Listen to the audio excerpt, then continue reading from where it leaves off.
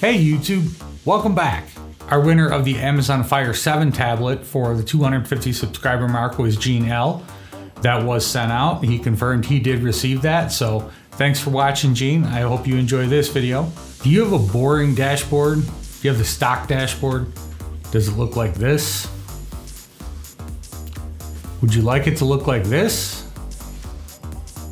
I've been working with Home Assistant now for about 18 months, and the whole time I just use the normal dashboard that they give you, the little switches and the nonsense cards and layouts. A couple weeks ago, I went over to a friend's house and he showed me his dashboard. It looked way nicer.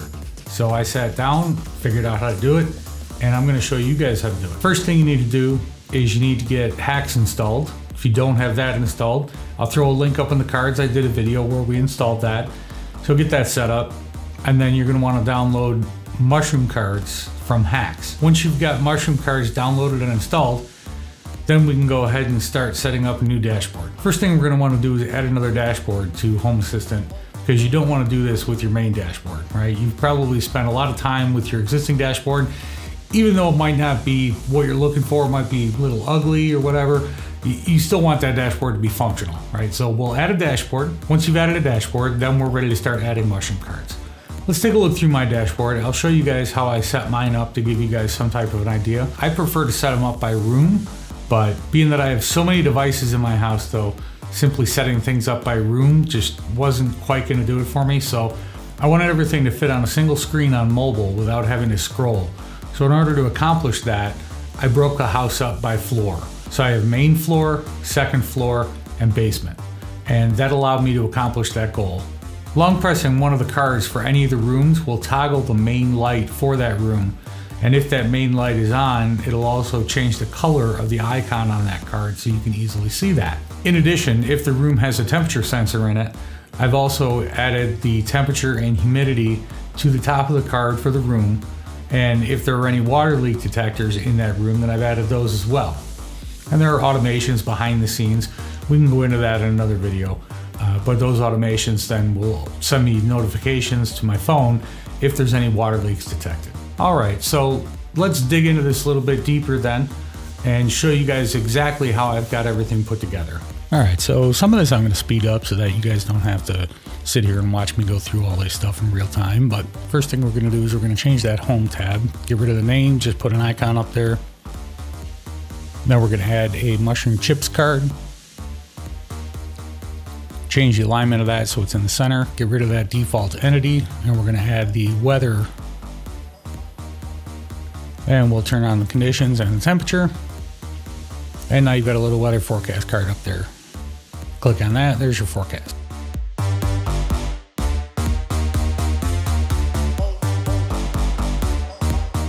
Then we're going to add another mushroom template card.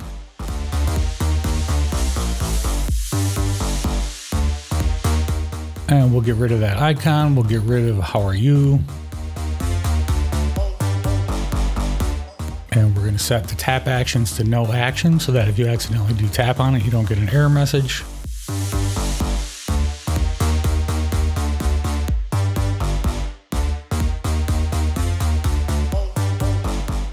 All right, so we're going to add a horizontal stack. And then we're going to add a mushroom template card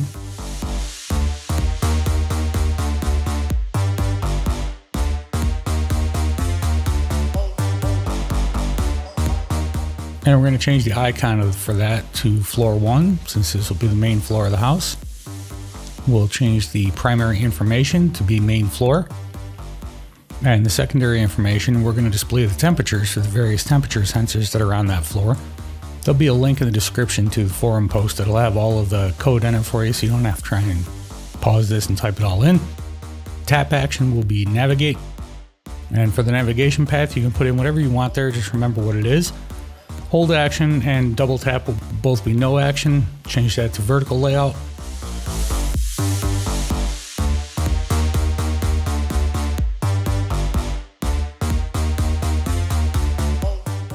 Now we're going to add another template card.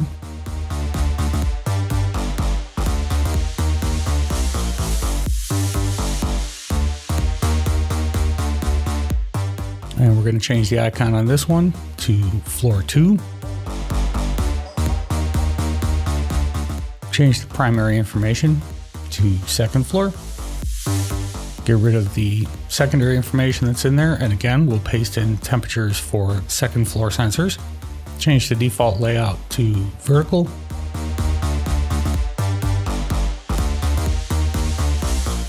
And tap action for this will be navigate as well. And again, put in whatever you like, just remember what it is.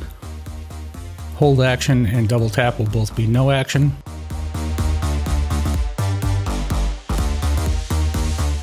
And then we need to add tabs that we're going to navigate to. So for the icon, we'll use home floor one for main floor. And then because we put main in there, that'll be the URL, so main. And then we'll go ahead and add floor two.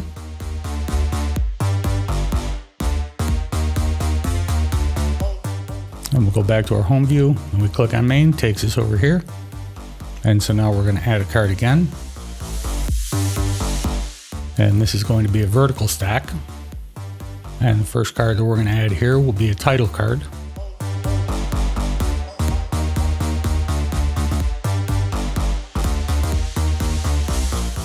And for the title, we'll put main floor.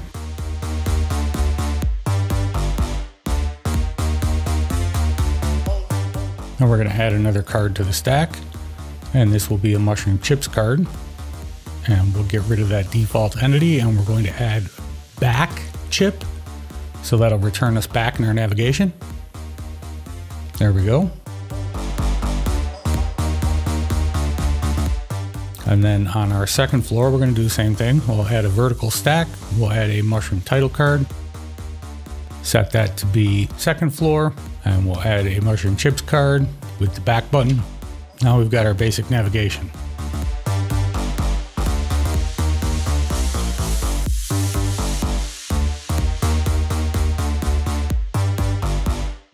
So then on the main floor, we'll add a card and we're going to add a horizontal stack. And the first card will be a template card.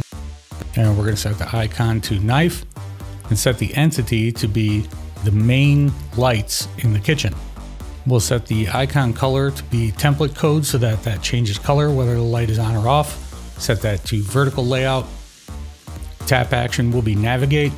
And again, you put whatever you want. So Mush Kitchen we're going to use. The hold action will be toggle.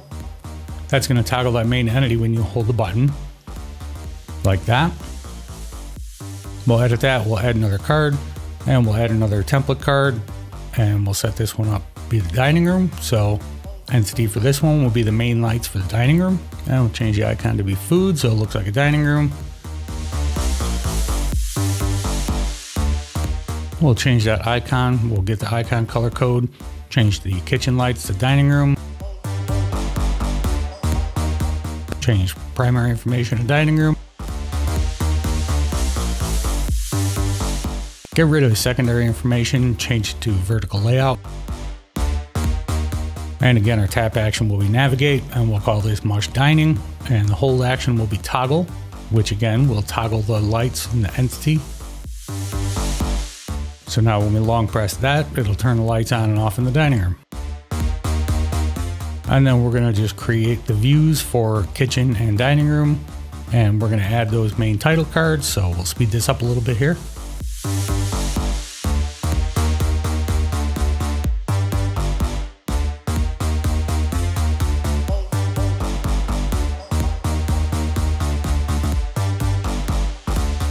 There we go. So we've got our kitchen and dining room cards all set up. So now we can start adding stuff to them. So on the chips card, we're going to add a couple of entities. The first one is going to be for the temperature. So I have a temperature sensor in the kitchen, so we'll set that up.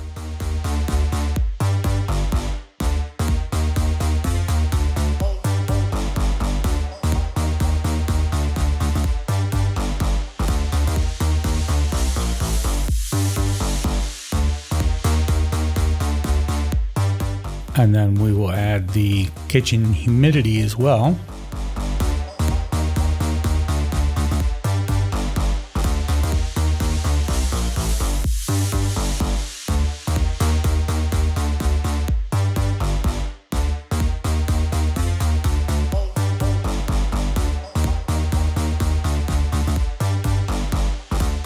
And the last one that we want to set up is going to be a template card.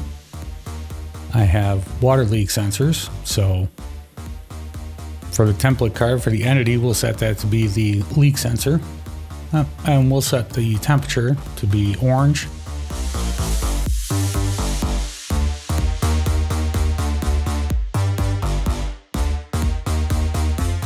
And we'll set the humidity to be blue.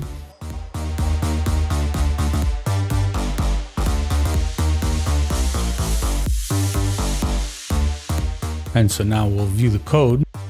This is the easiest way to set up this template sensor. So you can see the entity is the water leak sensor for the kitchen sink already. So now for the content for that, which will be the name that's displayed next to that, we're going to enter that code. If there's no leak, it'll say no. If there is, it'll be in caps, yes, with an exclamation point and then we're going to set the icon to change whether or not there's water or not. So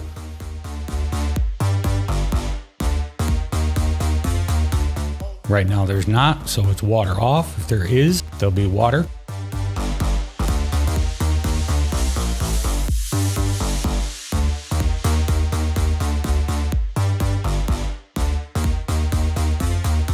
And then we're going to set the icon color the same way. So if there's water, It'll be red. If there's no water, it'll be blue. So pretty easy to glance at it and know if you've got a problem.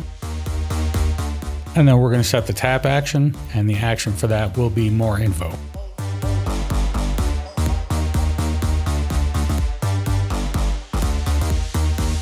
There we go, perfect. So we've got temperature, humidity, and water leak.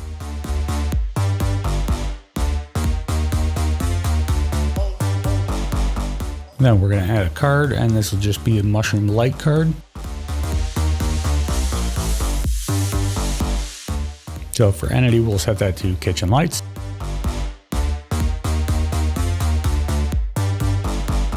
And the name and the icon are both fine. We'll change that to vertical layout. We'll add a brightness control because that is a dimmer. And when it's off, we'll collapse those controls. The tap action will be toggle and the hold action will be more info and we'll set the double tap to no action.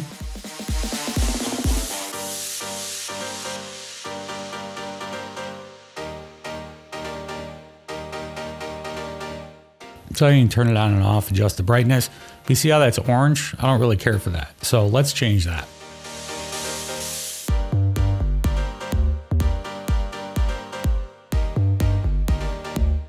So down here on the bottom, we're just going to use a card mod. So the code for that will be in the forum post as well. I set that to yellow. I prefer that.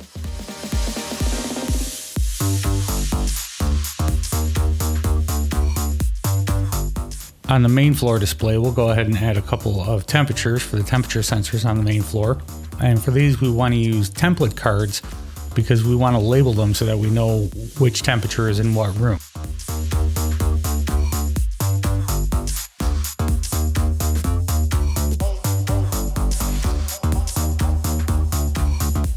So again, the code for this will also be in that forum post as well. And we'll set the icon color to orange.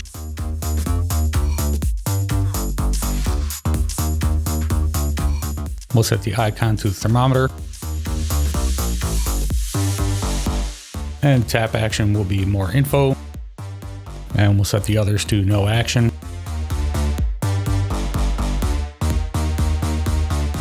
Then we'll edit the second template. Set this one to be the temperature sensor in the parlor.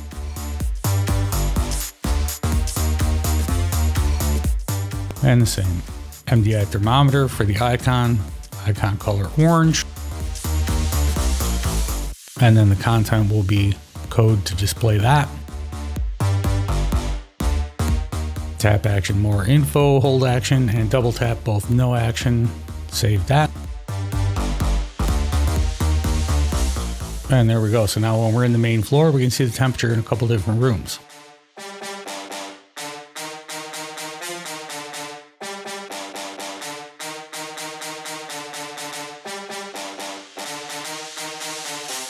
The next thing that might be nice to know is how many lights are on on the main floor. So just go ahead and type something into the subtitle field to get that to show up. So then we'll go and view the code, delete out what we typed there. And then we're going to put in a bunch of if statements to check the condition of the lights on the main floor. So this code again will also be in that forum post so that you guys don't have to pause this and try and copy paste all that. But basically all we're going to do is we're going to check the state of each of the lights, count the number of them that are on, and then we're going to display that in the subtitle field so that we've got a nice pretty dash. Main floor tells us how many lights are on. And then you can see as we turn lights on and off, that changes. So zero lights on, one light on, two lights on. There's many different ways to accomplish that. You can count the number of lights and switches by area. Uh, my entities, unfortunately, are pretty disorganized, so I chose to go through and list out all the ones that I wanted to be part of that. All right, so those are the basics. And just keep expanding from there. Take a look at this transformation from my old dashboard to my new dashboard. Here's the old one. It's a big mess, just a bunch of switches on it, hard to read, no navigation. And here's the new one. You can drill into all kinds of stuff. Icons light up if things are left on or turned off, tells me how many lights are on on the various floors. Temperatures are displayed, easy to see. It's really a much better dashboard. Here's my office.